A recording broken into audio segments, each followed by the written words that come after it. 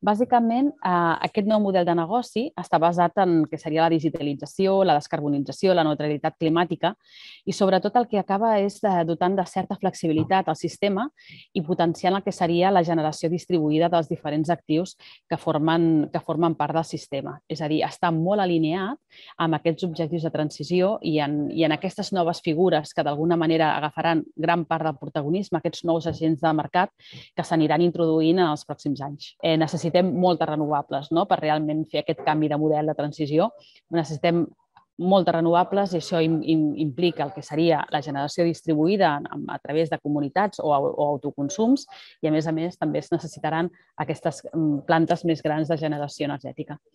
Uh, el problema d'això és que mm, són intermitents, no ens enganyem, depenem molt de, de la climatologia, depenem molt del vent, per tant, a la diferència d'altres energies, com seria doncs, l'energia atòmica, que realment és constant, o l'energia fòssils, que en qualsevol moment doncs, pots tirar d'elles com si fos un metge i encendre i apagar com vulguis, aquestes energies, lògicament, depèn de la, de la climatologia i tampoc es poden emmagatzemar. Aquest és el gran problema. Si nosaltres poguéssim produir energia amb èpoques bones i guardar-les en bateries de liti, que fossin econòmics, però és que és molt cara, evidentment podríem estabilitzar. Aquest és el futur, però és un futur de llarg termini, no és immediat. Eh?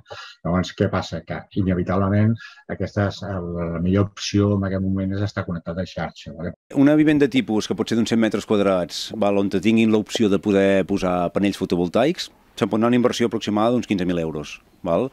Llavors, el tema està en que amb aquests 15.000 euros eh, aquesta família pot arribar a unes autarquies, unes independències energètiques d'un 90-95%.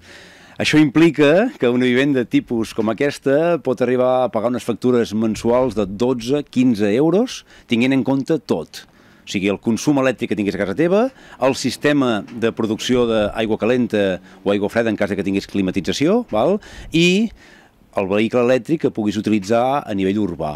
Val? Per tant, dintre aquest paquet podríem arribar a aquests 95% d'independència amb aquestes factures mensuals d'uns 12 a uns 15 euros.